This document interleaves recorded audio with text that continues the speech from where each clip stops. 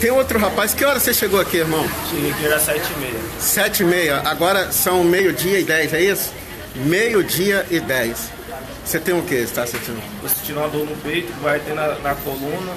Eu tô aqui desde sete e meia, cheguei a perguntar ali, eles falaram que eu cheguei aqui foi 8 horas, o meu horário é sete e meia. Eu tenho o meu padrão que me trouxe aqui na porta.